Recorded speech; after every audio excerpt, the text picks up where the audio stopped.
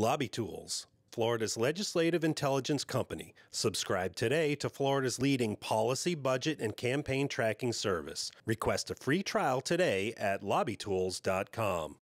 Donna Hedrick was just 15 when she was raped by her choir teacher. He told me, don't tell anybody because nobody will believe you.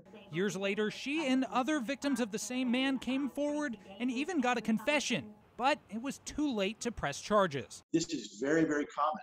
These children are traumatized by this. The statute of limitations for such crimes varied widely depending on the age of the victim and the aggressor. It was very confusing, um, and I think that that is primarily what we needed to fix most of all. Hedrick wanted to ensure the same thing would never happen to another child. She spent three years advocating for change and telling her story to lawmakers. The bill is to protect our children who are sexually molested and raped.